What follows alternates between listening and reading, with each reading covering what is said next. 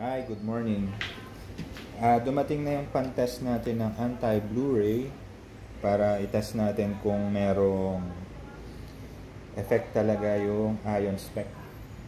Ko-compare natin dito sa aking dating eyeglasses na ginamit ko nung may astigmatism pa. Bili ko dito before ay 10,000. Medyo mahal siya, di ba? Pero itong ating ion spec, 7.8 lang, napakadami pang benefits. I-try natin kung merong pang protect ito sa blue light. So ito yung tester niya. Test natin kung meron.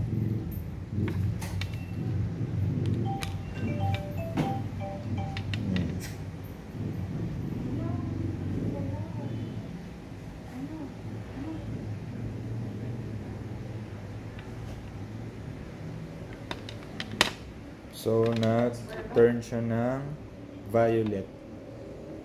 So, wala itong protection. Sinusot ko dati nung may astigmatism ako sumasakit yung ulo ko. Pero, nababawasan siya. Pero, pag mga 1 month, 2 months na ulit, ah, nagbabago na ulit yung grado niya. So, kailangan papalitan mo ulit siya. So, ito naman yung ion spec na may protection sa blue light, sa radiation, meron din siya. Ito, white na ulit. Kita ba? Yan, wala na ulit siya. Test natin kung maproprotektahan yung ating mata sa blue light.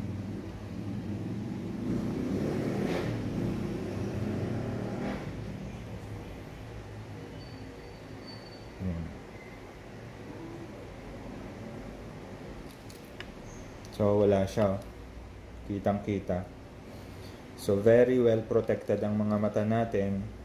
Lalong-lalo na pag gumagamit tayo ng mga gadgets, computer, tsaka pag lumalabas tayo sa maga, yung araw, nag-emit din siya ng blue light. Kaya kailangan may protection talaga tayo sa mata. So, kung gusto nyo matry itong nanospec, uh, message nyo lang ako. Available to sa Youngsons Body Shop. Pwede kong ipatry muna sa inyo para malaman nyo kung ano yung mararamdaman niya. Thank you!